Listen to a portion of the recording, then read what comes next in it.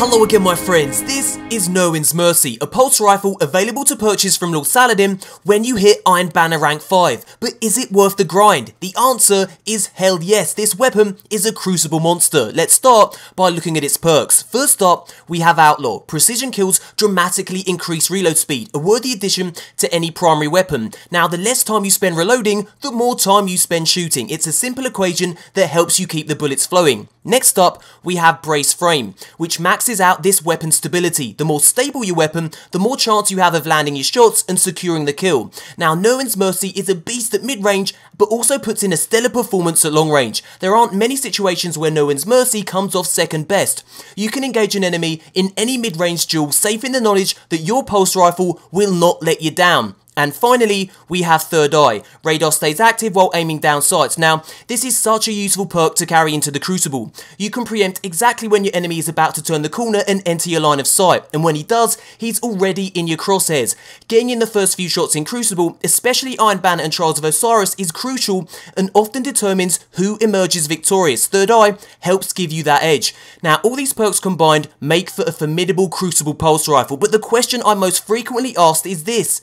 Is it better than Red Death? Now, as you can see, Red Death has slightly better impact, range, and reload speed, and it also has two excellent perks. Each kill heals you and speeds up reload, and it's easier to aim under fire. There's no doubt that Red Death is also a formidable pulse rifle, and if you choose this over Nirwen's Mercy, that's completely understandable. Both weapons are deadly in the Crucible. But here's why I've recently replaced Red Death with Nirwen's Mercy as my go-to Crucible primary. First of all, that insane stability, but perhaps more importantly, Nirwen's Mercy allows me to free up two exotic slots.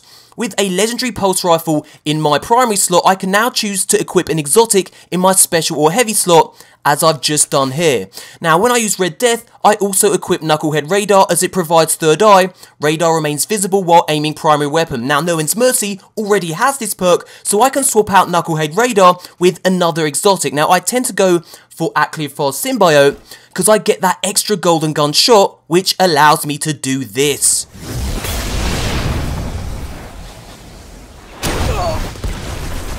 Double down. Yes! Three down! Fantastic work!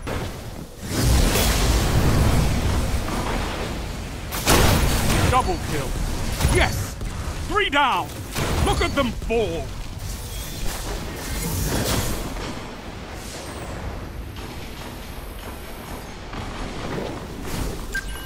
Don't be neutralized. So then, that's why I love Nirwen's Mercy. Now, I'm going to leave you with some Crucible gameplay so you can see this thing in action. Thumbs up if you enjoyed the video, subscribe for daily Destiny content, and thanks for watching, you beautiful bastards. And as always, dee hee hee. Until next time, Guardians.